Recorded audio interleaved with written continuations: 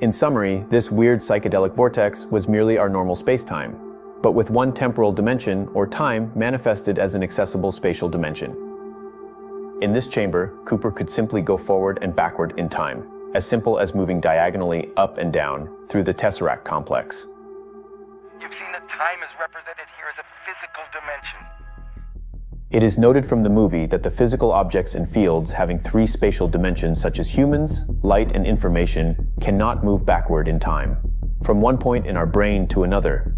Just like the information about Murph in the past can go to Cooper in the Tesseract in the future, but it cannot travel back in time from Cooper to younger Murph. This is due to the fact that the actual warping of spacetime prevents it. Cooper, in particular, will never be able to return back in time and alter anything. However, as we see in the movie, gravitational forces may carry messages into the past. The signals can travel back in time from Cooper to Murph, overcoming the one-way barrier. That's why since the beginning, this movie talks about gravity anomalies,